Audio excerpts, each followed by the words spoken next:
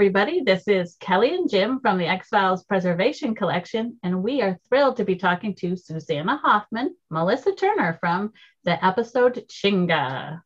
Hello, Melissa. How are you today? I'm good. I just called you Melissa. Hello, Susannah. it's okay. We'll go back to those days. That was Melissa. definitely uh, Chinga.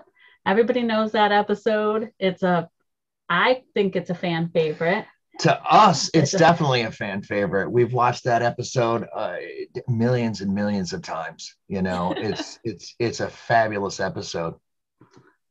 So dark. it, yeah, it definitely, definitely. A lot of people definitely were creeped out by that episode. yeah, the doll. The you doll. know, the doll. They get really, really creeped out. I don't know why. It's just a doll. Do the hokey pokey. Yeah, that, that actually, song going over and over is yeah. what really creeped me out. Just that weird sound. Song. yeah, that's funny. Okay. Um. Uh. First question is, how did you? How did you? And why did you get into acting? Um. Well, you know, I sometimes question that myself. what What was I thinking?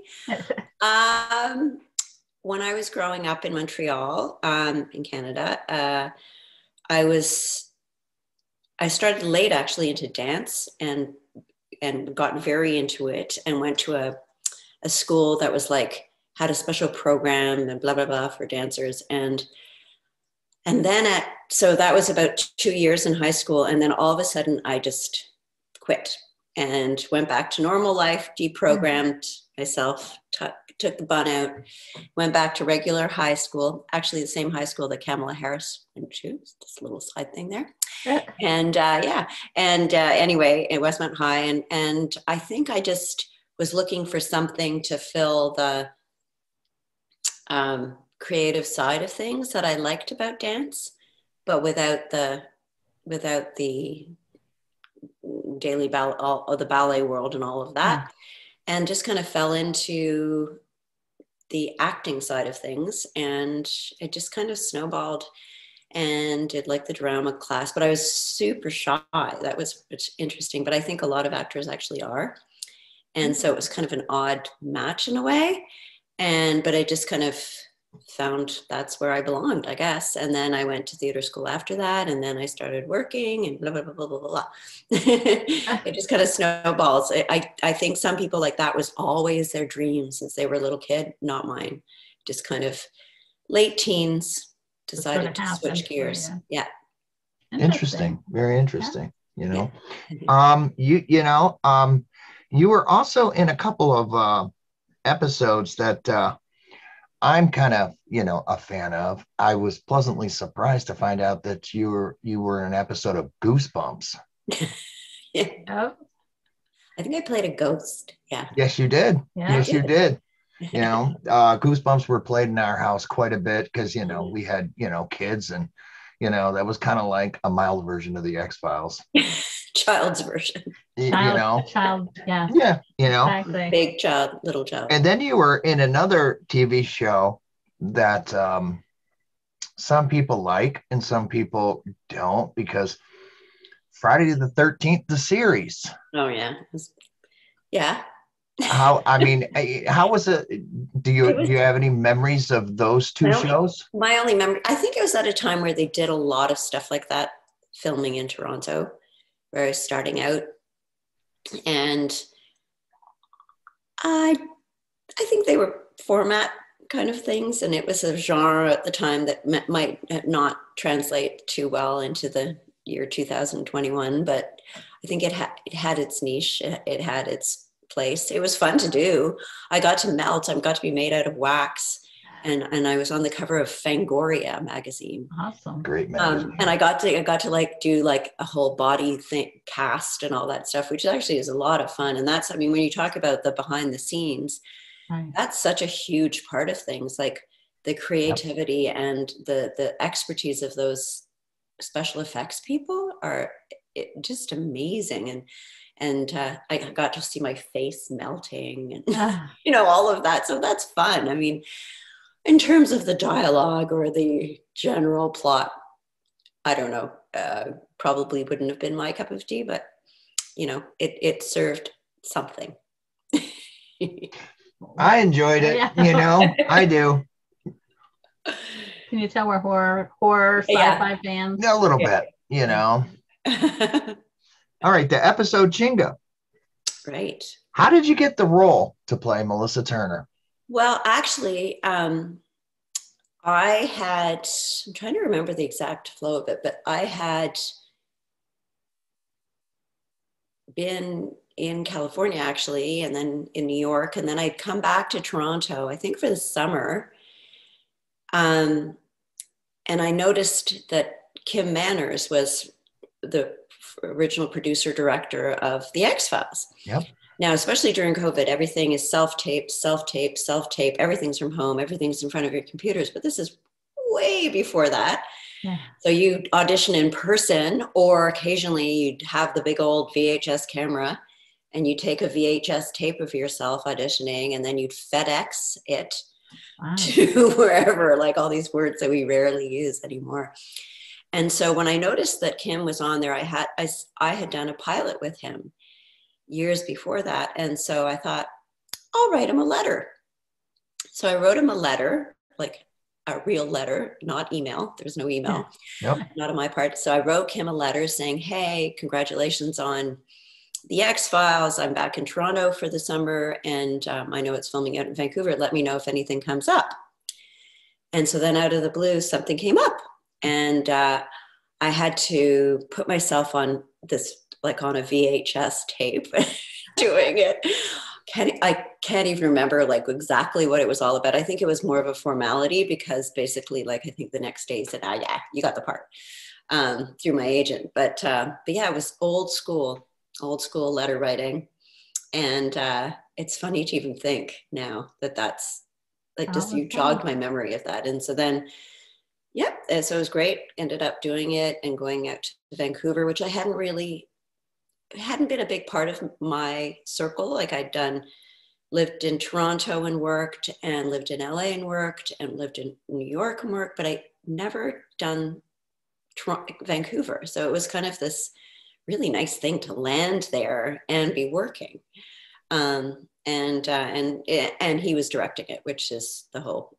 Right. It was really nice to see him after quite a few years and and catch up. And uh, yeah, so that's how. that's great. Um, when you were filming the episode of Chinga, I, h- how long did it take uh, to film the entire episode?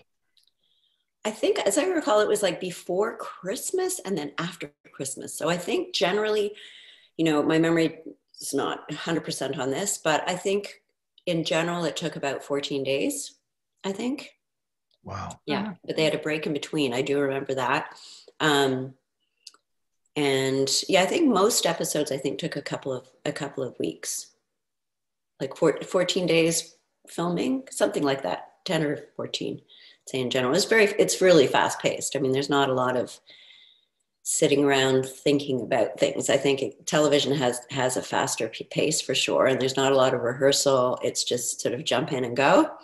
So you're you hope that you have good chemistry with people, and uh, and I, the, the little girl Polly was wonderful and pretty mesmerizing. So it wasn't, it wasn't really hard to act that, even though I, at that point I didn't have children or anything like that. It was a different world. So, um, but um, it was a really nice group of people that were involved in that. You, you, that's what you always hope because you really have to go on um, on chemistry. I think in a lot of situations, so that's right. why casting is is important and uh, and then hope for the best. right. That you, that was another question that I was going to ask was, you know, what was it like, you know, working with, you know, the character, you know, and everything. What's that? Yeah. what was your like? You mentioned the chemistry and all. So uh, we've heard a lot that you know it's like you always hear it's one big happy family. But what was your experience of working on the set of the X Files with everybody? Um, I think well, all my stuff was with the little with with Polly mostly, and then blanking on his name, who played sort of the love interest kind of sheriff guy. Yeah. Uh, blanking. Oh, anyway, and they were they were great. Um, I didn't have a, Melissa Sue Anderson was really nice during my crazy scene of the of the kitchen and everything slamming yeah. and yelling and screaming and everything, but um, we didn't have like I didn't have much. It, it almost felt like a little bit of a separate thing. I think some other episodes, it was like a movie within a movie a little bit, and I think she was involved, but almost not with us, except for that that uh, main scene. There wasn't a lot of interaction with them, so I can't speak to the the feeling on set with with the main stars um, because and then he was away. so, yeah. right. so we had we had the show. We just you know it was ours. No, I'm just Um, no, it was it was it was really nice. And Kim, the, I think a lot has to do with the director. Right. And Kim, just a, a really great down to earth, down to earth guy. Not fancy, not not a bully, not a bossy, but gets things done kind of person. So I think that really helped as well. Like he was just, he ran a very good ship. Awesome. Kim was responsible for a lot of the best episodes and we've always heard great things about him. Yeah. One of our regrets is, you know, we never got to meet him, right. but we love hearing stories about Kim Manners. Yeah. So yeah, but that's that was my I mean my connection was mostly him. Right. And uh and this sort of crazy thing that it was um uh um this I guess kind of a special episode because having the added uh the writer involved kind of thing um with him. But he wasn't there any either, so it's like right it was our own little bubble. yeah, that was one of the questions I was going to ask was what your thoughts were that it was co-written by Stephen King. Oh, I thought that was very cool. Very cool. Yeah, but Stephen King was, I mean, at that time was huge and he still yeah. is really yeah, popular, yeah. huge now. Hmm. Yeah, I, I think it added, a, I hope he likes it. yeah. that element. But, you know, I think the thing is he wasn't around. You didn't see him. I mean, they probably spoke a lot and he saw stuff, but you just, it did it adds that thought of oh wow i hope i hope i'm doing this justice but at the same time i think when you're there and you're and it's all so fast and and you're just go go go go you don't really have time to worry or think about that so um yeah so but yeah definitely added a little extra extra fun to it so yeah he's still he's still filming he's still creating yeah. tons of stuff yeah absolutely yeah. I have a house out in Nova Scotia in Canada as well. And he just, I think that's the second series he's done there, but there was one filming in Halifax last last summer that I was like desperate to get on, but I didn't. I always was like, how can I find him and remind him who I am? but anyway, maybe I should have just written him a letter too. You know? There you go. I would have definitely gotten his attention in this in this time. Remember Chinga? But anyway, yeah, no, that was just an ex an added kind of fun element to it. Right. What was your what was your experience? I mean, you've interacted with the character Polly. You know, um, didn't when you talked to Polly, didn't she state that she was older than she was? Than the character, yeah. Right. Right. I think that happens a lot that they they can because they want somebody with the the knowledge of an older but to play younger. It's like when I was 24, I played Jen Pringle in very not science fiction, um, Anne of Green Gables, like the sequel where she goes off to be a teacher, and I was like the rotten, mean girl, and mm. um, and I was 24 playing 14. Wow. So I think there's because you want they had some real 14 year olds, but they wanted some not in the mix that can do, yeah, it, it sometimes they cast absolutely age and sometimes they kind of blended. And I think with the, with the role like Polly, that would have been really hard to have had somebody super, super young.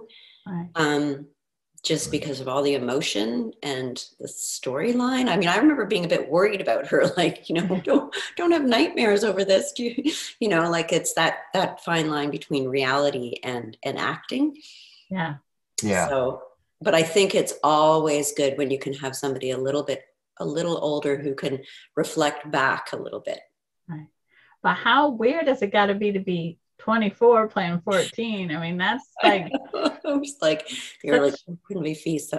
Like, yeah, I know. 14 is like, funny. you're still innocent and like, you know. I know. It was, well, and it's a, it was a period thing. Well, I was a fake, I actually was a fake teenager for about like eight years.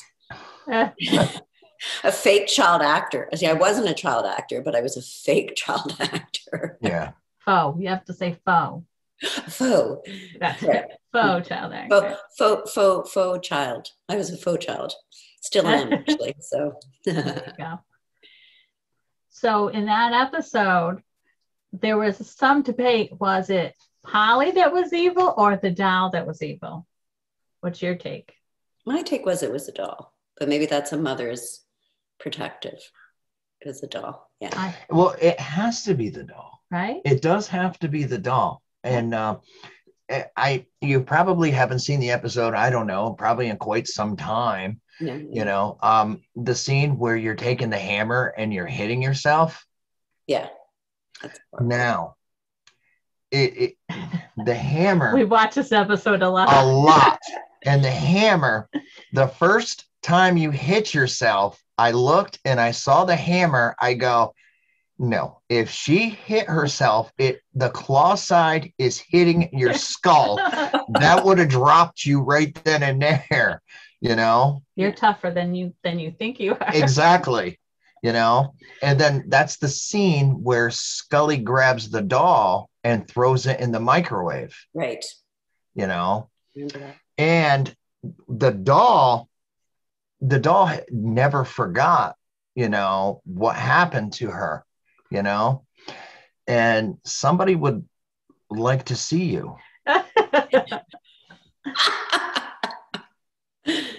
oh. There she is. Oh, sorry. This sorry is the doll that poor little girl was shoved into the microwave, and mm-hmm. then the fisherman, you know, pulled it out. You know. Oh God. That's very creepy. That's what Yeah, that's what a lot of people have said, you know. people are like, how can you have that in your house? Yeah. But she's still around. Children? yeah. Do they we play don't with let them play with her. They, no. no. They go, Let's play with Chinga. no. She would be more of a she would be more of a parenting tool. Like be nice or we're gonna get Chinga. Right. Now at well after the episode aired, you know how, i mean um, did you get more recognized? Because a lot of people have said that you know they were they got more recognized and you know a little bit more fan base. A little bit. Um i'm trying to think.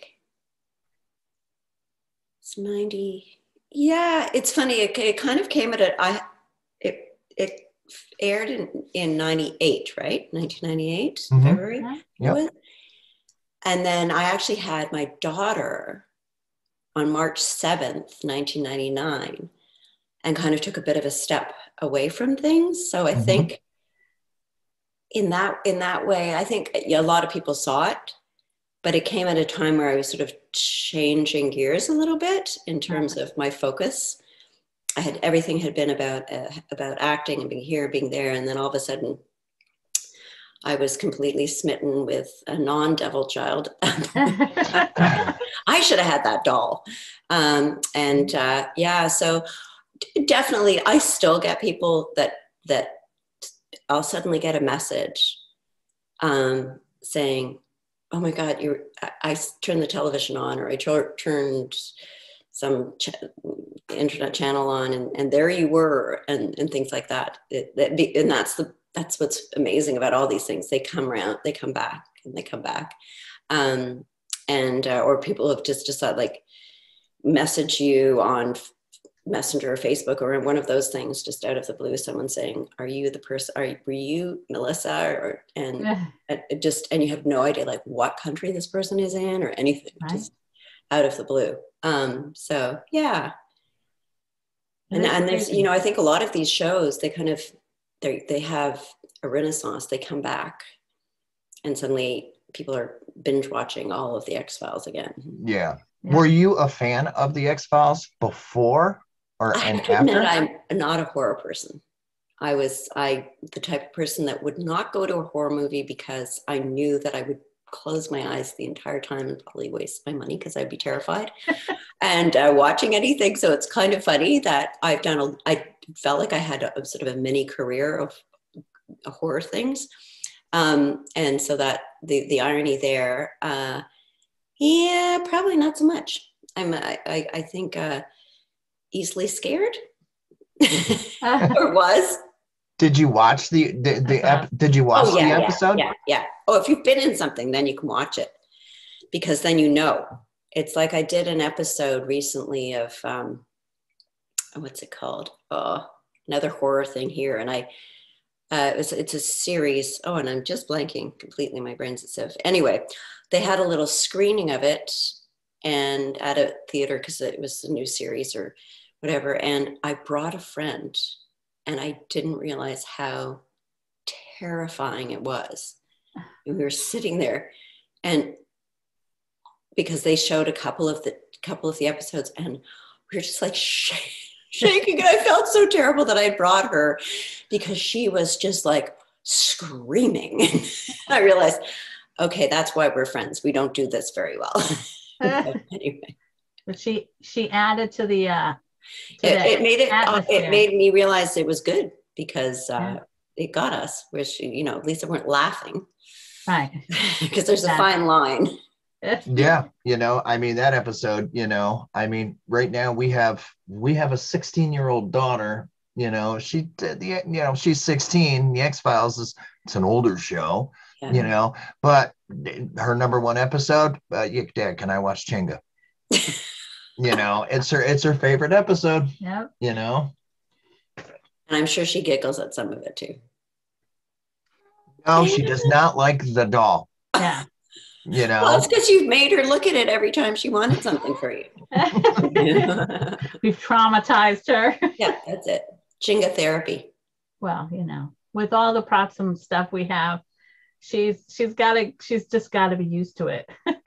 Absolutely you know? What was it um you, you've touched on it a little bit you know earlier.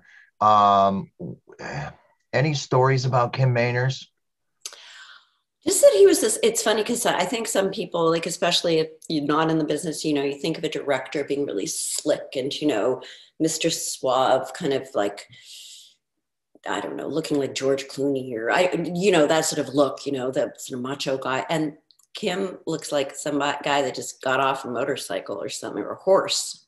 And just real down to earth nothing like the most unpretentious un um, you know, I'm I'm Kim Manners type at all. Like just this, like yeah, just this like he he honestly could just look like somebody who was I don't know, yeah, seriously, just got off some horse in in in Montana or something. I don't know, like he just had this kind of like cowboyishness about him, but I think he also really really played away from Hollywoody kind of stuff and. uh he he just didn't seem like somebody who who had a it's he he fit in in a funny way because uh, he wasn't he wasn't your typical Hollywood TV director, and uh, that that says a lot. Probably why he was successful. Yeah, um, well, we've heard a really nice heard, guy too. Yeah, like, we've heard great stories about and it. Never got all like that whole, but it is a pressure cooker. You need somebody who's going to lead the ship, you know, and and you, there's a lot on them or whatever. Um, but that can go in different directions. It could be somebody very focused and no nonsense, or you can have somebody who's just like free, uh, using that power in a negative way. And he he was so opposite to that, and uh, he just looked like he was having fun. Like he doesn't. He just looked like somebody who was having fun. Like it wasn't. It was you know.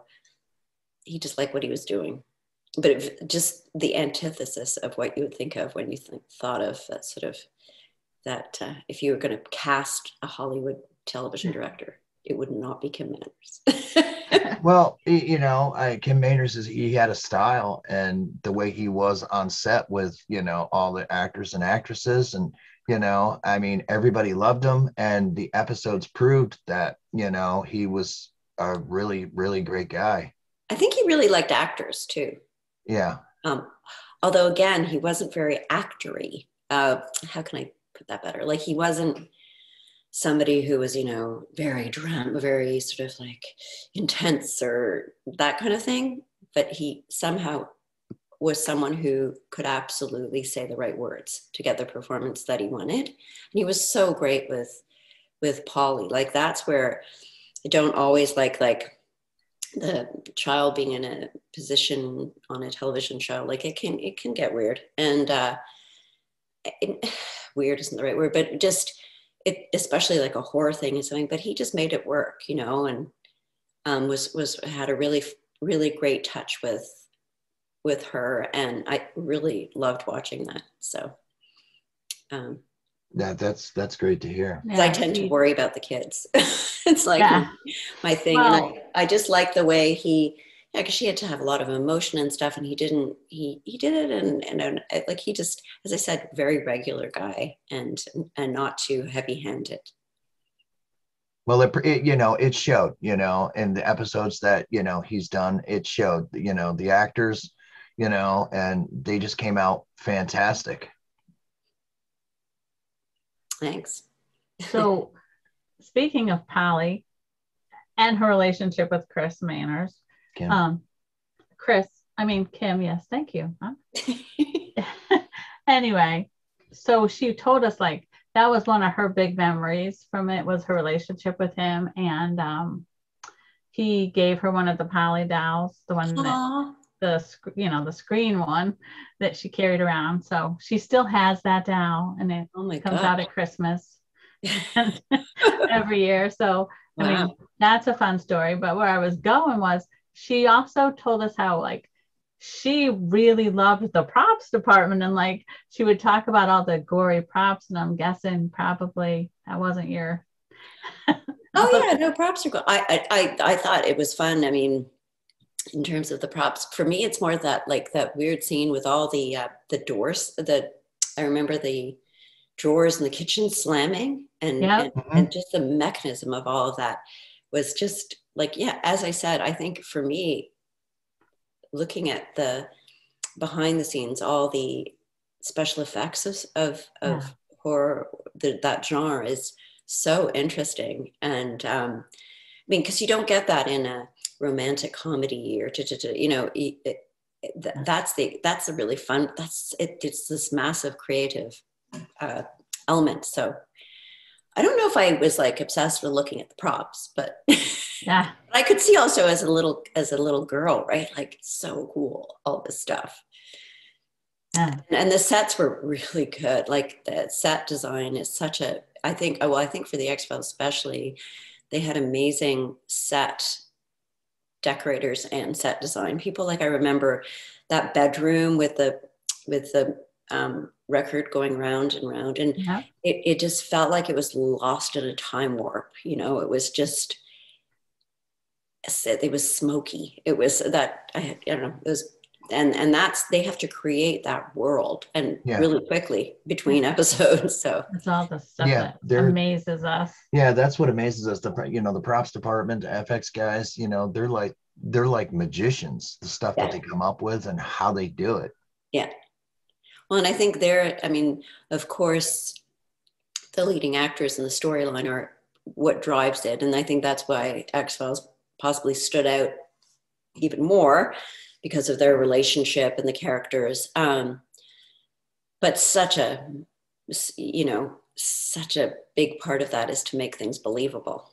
And, yeah. um, and they, I, I think that's, and now, I mean, even how many years later, 23 years later, whatever, 24, a lot of that I think is done much more digitally now, but it was also the mm. sort of start of a lot, a lot of that. I, I don't know much about that side of things, but yeah, um, definitely I, I'm, I'm with her. I'm very fast. Like I liked to watch all of that stuff and see what they were doing and yeah, see how it all works. The rubber hammer. Yeah. Yeah. Yeah. you know, I mean, the, the hammer, you know, I'm like, I have a question. When you walked into the bedroom, you know, and Polly was sleeping with the doll, you know, I, I, I every time I watch it, I say, just grab the doll and rip its head off yeah. You know, Yeah, and then it would have ripped my head off though. That's true. it could have. grabbed the doll and the doll would have attached itself to my face and eaten my nose. I don't know. like a Yeah. an alien face hugger. Yeah. Yeah, you'll have to ask, you'll have, yeah. Stephen King, why did she not grab the doll? There you go. You can ask him that. Because if you did, we wouldn't have had an episode. Well, that yeah, and and you that wouldn't have a microwave doll. That's right. True. And then, but that episode is just like a lot of other episodes of X Files. Um, there definitely could have been a part two. Yeah, that would be nice. Yeah, would have been nice. You know, I mean, when the fisherman pulls the burnt doll out of the, you know, the so water, creepy. it could have been. You know, Yeah. know. If you were a fisherman and you pulled up your lobster trap and there was a burnt up doll in there, would you really take it home? Wouldn't you be like, ah, yeah, no, you're going back in? exactly. If there's a burnt doll, whose doll was it? And where are they? Exactly. I don't want nothing to do with the burnt doll that I pulled up out of the. Yeah, uh, the the the su- how was the supermarket scene? Oh, that was really cool. Except, well, except for it wasn't for me. Like you only see how cool it is after you, because you have to act all of that. It looked really cool, but I have to say, at the time, I didn't like. It was sort of like now you're seeing this, now you're seeing that. So a lot of a lot of schmacting. yeah. Yeah, exactly. Yeah, But I thought it was really cool how they did it. But again, that was all done after. So, uh, but it worked. Yeah, I know. Maybe I maybe watching it, I can't remember exactly. I probably probably might knowing me, I probably watched it going, oh, if I knew that's how the guy really looked, I would have done this. No. Yeah. Great passion to have. So fun to meet you guys. We love it. yeah, we love it, We're thrilled to have met you. yeah, we're absolutely thrilled. you. You know, you just you you- we've you made our night. Oh, thank you. Thank you so much.